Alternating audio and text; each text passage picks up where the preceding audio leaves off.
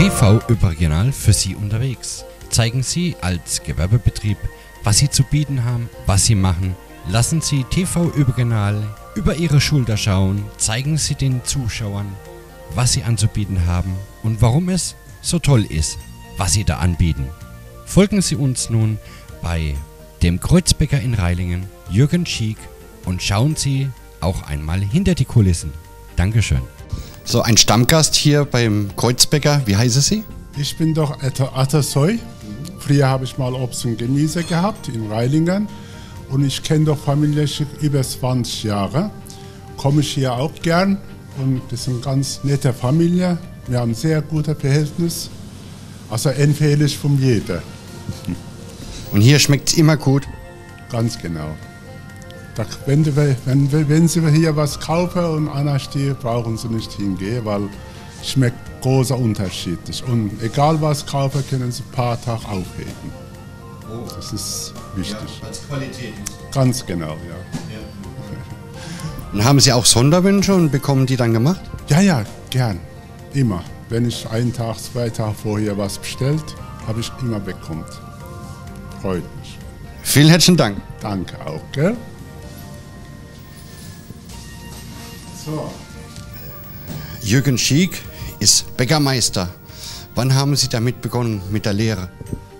Also mit der Lehre begonnen, also mit 16 habe ich angefangen im elterlichen Betrieb oder drei Jahre gelernt, Abschluss gemacht mit 1,8 damals Zellerbrief. Dann äh, fünf Jahre später habe ich dann den Meisterbrief gemacht in Mannheim drinnen und seitdem bin ich also praktisch immer im Betrieb hier. Mit dem Vater zusammen aufgebaut, das Geschäft. Und äh, 2000 haben wir es dann übernommen vom Vater. In der wievielten Generation ist jetzt die Bäckerei? Also wir sind jetzt die elf Generation in der Familie. In Reilingen ist jetzt die zweite. Jetzt sieht man, auch für kleine, wenige Teilchen wird alles mit der Hand so hergestellt. Es wird einfach vom Grund auf produziert. Es sind keine Teiglinge, richtig? Ja, richtig. Das gibt jetzt, äh, wir stellen hier jetzt Blätterteig her und äh, die Maschine ist normal für 50 Liter, aber man kann auch kleine Teige machen. Man sieht es, das sind jetzt äh, 300 Gramm Wasser und 500 Mehl. Also die Maschine packt da das. Das ist, also bis 50 Liter kann ich machen. Also bei Kreuzbäcker wird alles mit der Hand hergestellt. Ja.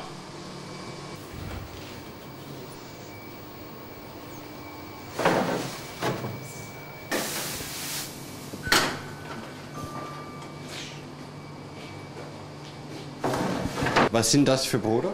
Das sind jetzt die Pfälzer Krustebrote. Dann haben wir im zweiten Schritt haben wir das Roggebrot. Ja. Der Teig wurde vor zwei Stunden gemacht, dann aufgearbeitet, in Gärschrank gelassen und dann eingeschossen. Jetzt braucht es noch 2-30 Minuten zum Auspacken. Okay. Und dann können wir es rausholen. Deshalb schmeckt es so besonders frisch und gut. Ja, wird alles frisch hergestellt. Gibt.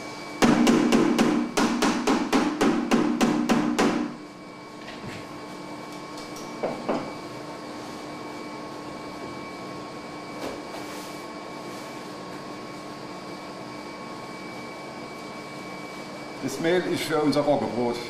Das Roggemehl ist 60% Rogge und 40% ähm, Weißmehl. Ja. Das Weißmehl das ist dann im Silo, kann ich genau einstellen, wie viel Gramm.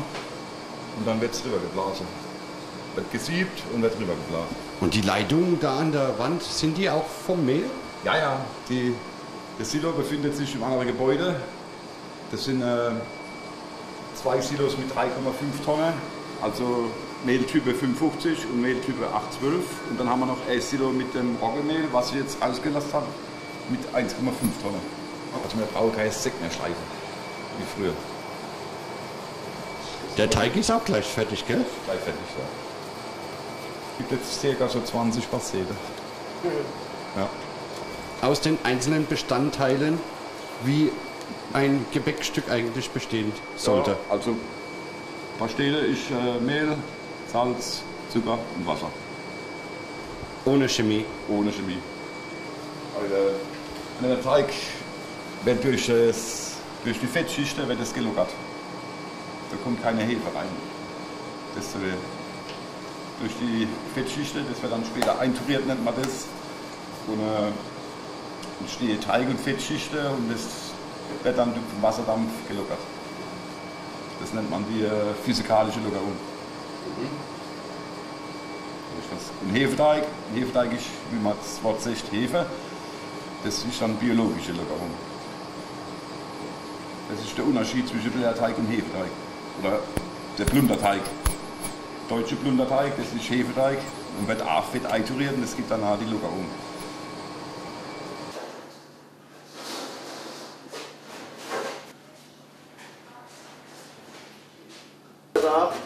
Tschüss. So.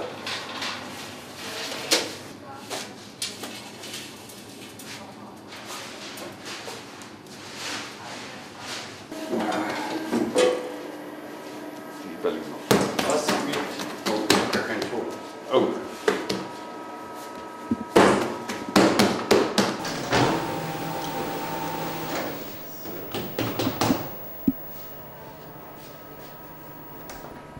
Stellen wir Berliner.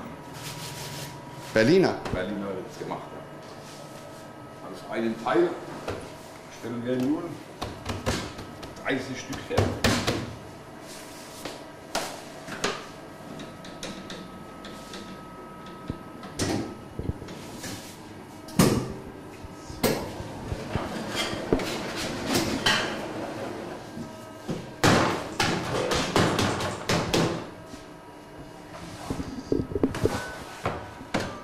Och du.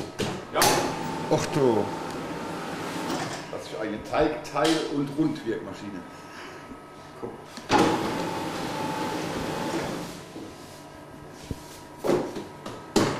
Das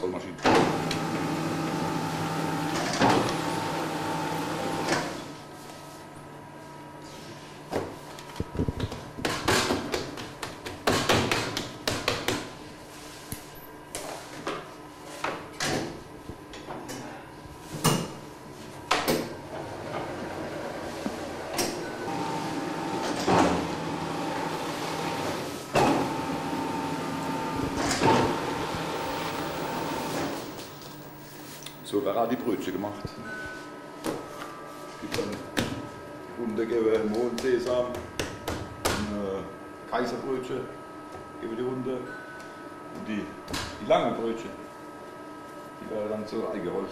Ja. Aber da es jetzt Berliner gibt.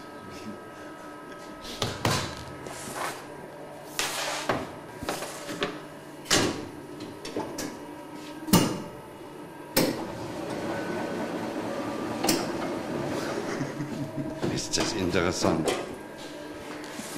Ja, interessant. So. Absetzen.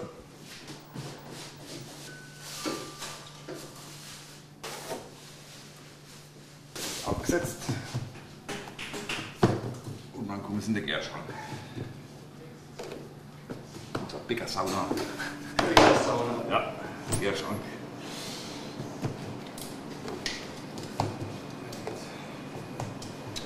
Wie die Hefe besser geht. Oder schneller geht. Früher, früher hat man das alles oben, war er extra so hoch, dann hat man alles hochgestellt, weil es oben wärmer ist. Ohne Gärschrank war das dann oben noch. In der alten Bäckerei sieht man das noch. Jetzt machen wir die Tomats.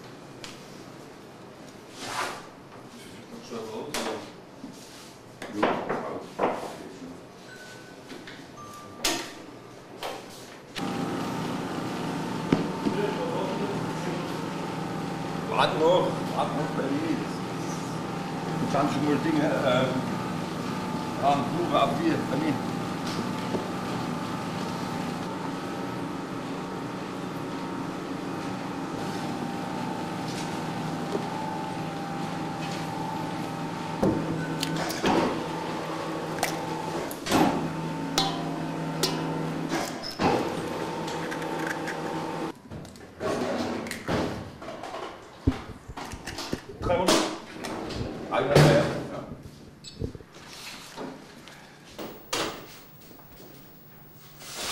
Kann man die Liga auch? Hm? Die haben wir, oder? Die kann schnell stellen.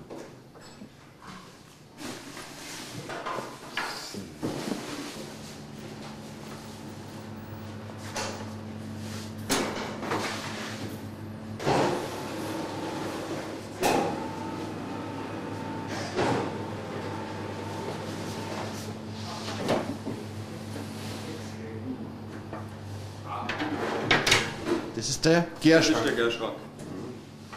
Hier ist mal jetzt die Berliner und die Donuts, ein bisschen Gehe und dann backen wir sie in Berliner.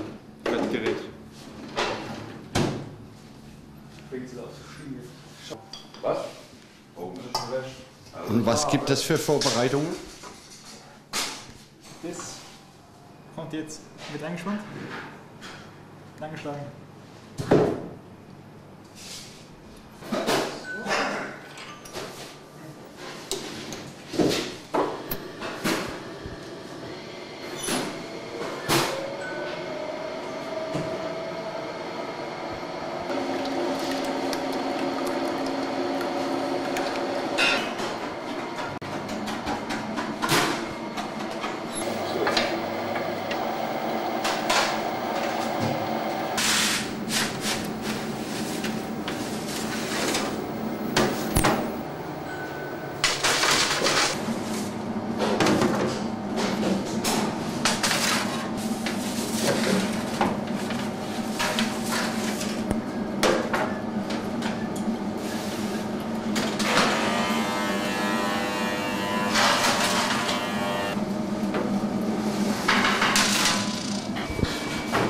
Das ist jetzt unseren Teig, wir vorhin gemacht haben. Jetzt machen wir da draußen den Blätteig. Dazu haben wir den Grundteig und das Fett. Das Fett wird jetzt, das nennt man Einturieren. Es gibt jetzt die verschiedenen Fett, Fettschichten. Der Blätteig hat bis zu? Ich habe 224 Fettschichten. So. Das zeige ich jetzt mal. Also der Anfang bei Das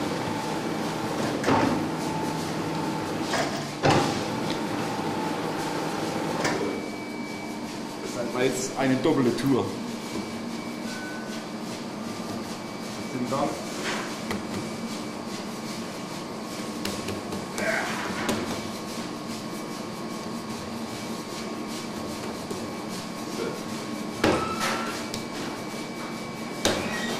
Das sind jetzt wie viele Schichten sind das jetzt?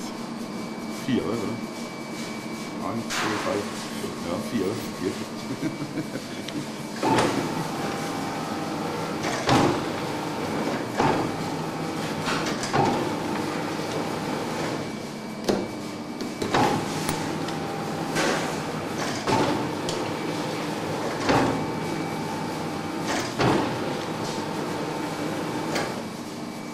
Das war mal eine einfache Tour.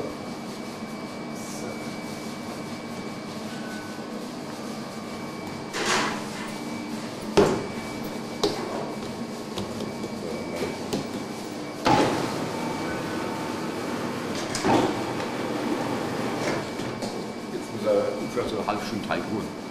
Ein bisschen entspannen, der Teig. Damit der Teig nicht austrocknet, tut man in eine Plastikfolie einpacken.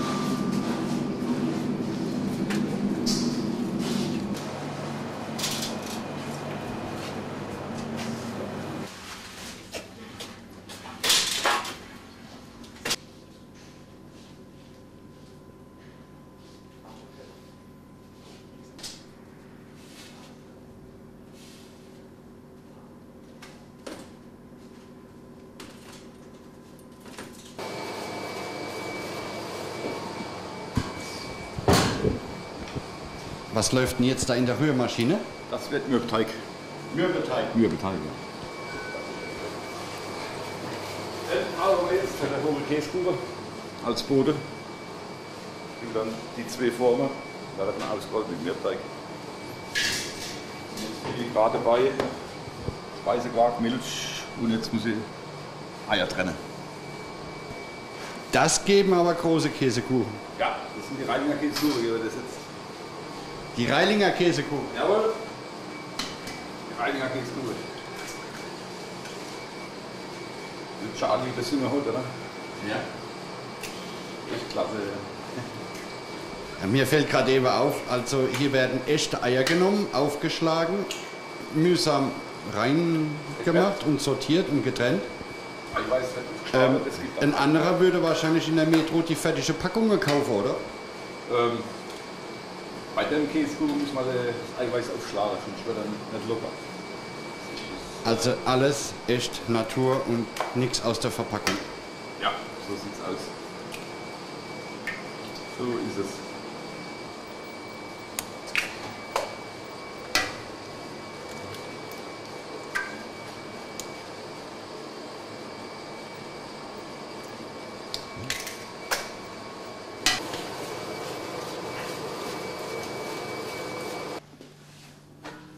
Ah, der ist ja gut.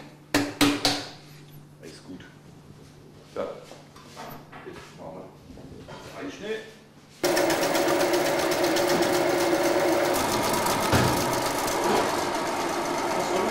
Ja, also, so,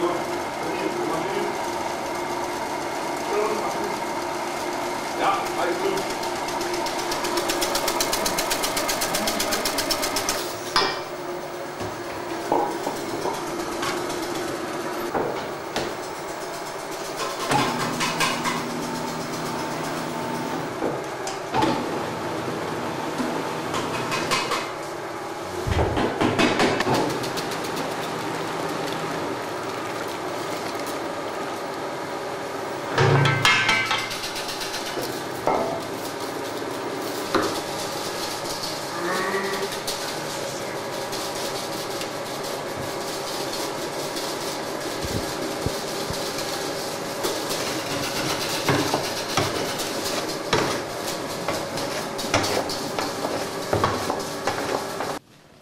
Ja, das sind jetzt bloß So viel Eiweiß. Das sind jetzt bloß zwei Käsekuchen. Normalerweise wäre es fünf, dann nicht groß Kessel. Es sind fünf oder sechs verschiedene Arbeitsabläufe auf Ja. einmal. Ist?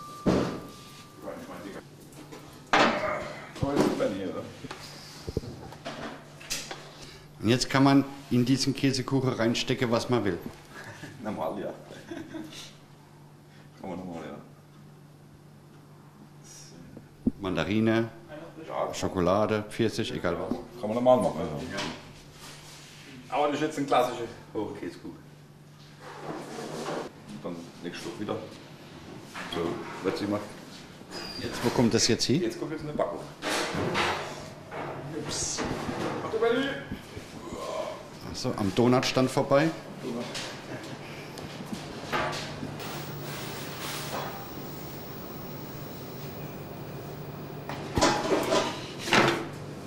Das nennt man reinschießen. Jawohl, das nennt man Reinschießen. Und äh, wann kommt der Knall?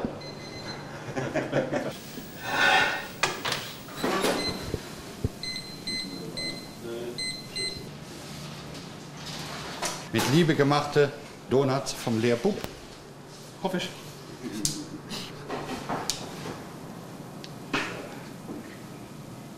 Und wenn die Lehre fertig ist, dann machst du einen Meister. Wenn es dahin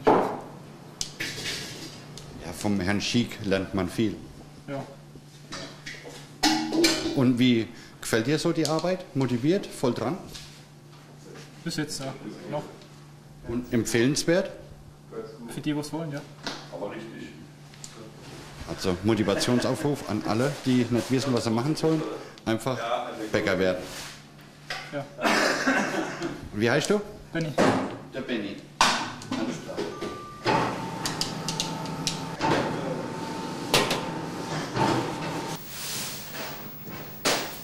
Also, wie lange haben die jetzt gären müssen im Gärofen. Viertelstunde circa. Okay. Wir sind ganz schön hochgegangen. Ja. Im Gegensatz zu vorhin. Meine, meine Güte. Gucken mal da hier.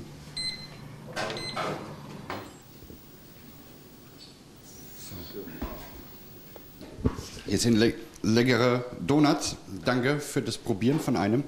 Also ohne Zucker. Einfach fantastisch, naturell. Und die sind jetzt ohne Geschmacksverstärker, ohne Chemie. Ja, die sind alles also reiner Hefeteig und ein bisschen Mürbteig ist drunter geschafft. So, und Das ist dann der besondere Geschmack da, das Mürbteig drunter. wir haben jetzt halber neune. Jetzt haben wir einiges mitbekommen hier. Ähm, wann fangen Sie an eigentlich? Also ich fange 1.30 Uhr fange ich an.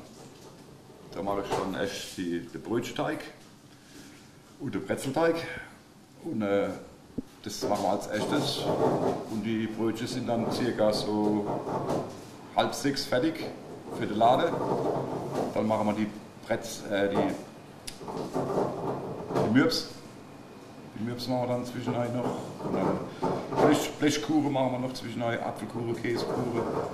Und dann äh, nach der Sechste machen wir unser. Der Sohnemann macht die Teige für das, Brot. Und ab der, ja, kurz nach sechs tun wir dann das Brot aufschaffen. Und das kommt dann um 8 Uhr alles im Ofen. So ist eigentlich Ja. morgens das Pflichtprogramm. Ja. Und dann ab 8 Uhr kommen dann so Sachen wie Berliner. Heute machen wir jetzt Gewürzkuchen und finnische Nusskuchen. Und äh, so ist halt jeder Tag anders gestaltet. Ab 8 Uhr. Morgen zum Beispiel, freitags machen wir dann die ganze Hefezöpfe. Plus gefüllte Zöpfe, ungefüllte Zöpfe machen wir da. Okay. Rosenkuchen, Zuckerkuchen, Apfelkuchen, das ganze Sache fürs Wochenende. Und äh, samstags fange ich äh, halb zwölf an. Äh, nachts. Nachts. Ja, halb zwölf. Dann machen wir dann äh, Brötchen und Brot. Ja. Okay. Und- und- und Und, sonntags Hefeteig. Sonntags tun die ausschlafen, ja.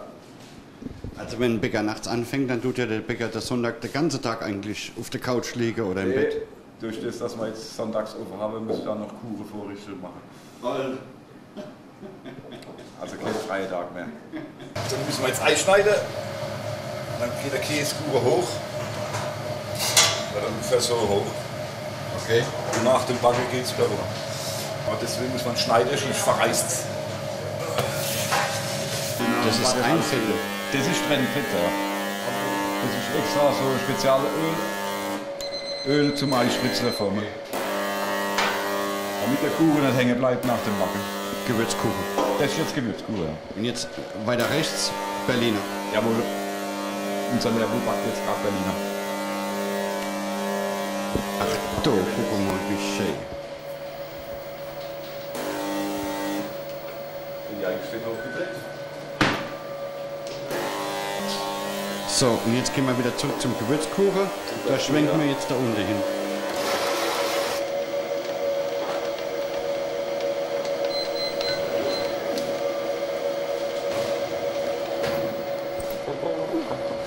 Und das ist die Marmelade für den Gewürzkuchen?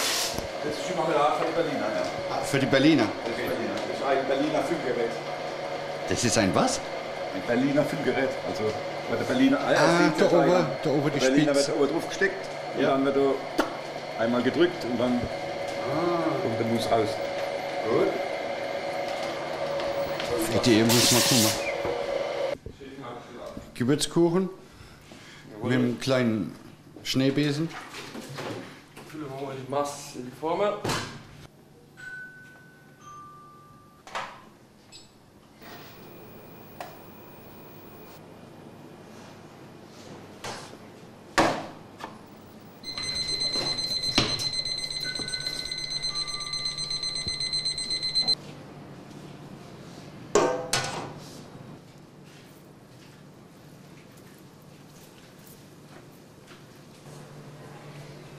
Jetzt eine Erklärung für die Zuschauer, was wir da reingedrückt. Johannisbeermarmelade.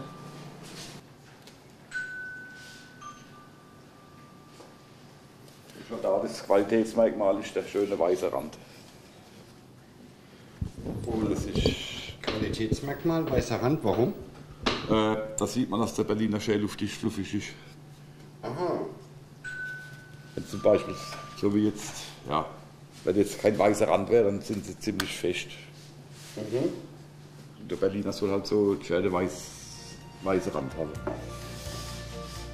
So, jetzt war TV Überregional hier mal live dabei bei Bäckerei Schick, beim Kreuzbäcker in Reilingen, Jürgen Schick. Und äh, haben wir das mal miterleben dürfen. Ein O-Ton an die TV Überregional Zuschauer. Also ich hoffe, dass wir ein paar Kunden sehen und äh, wünsche euch einen guten Appetit, wenn ihr bei uns seid.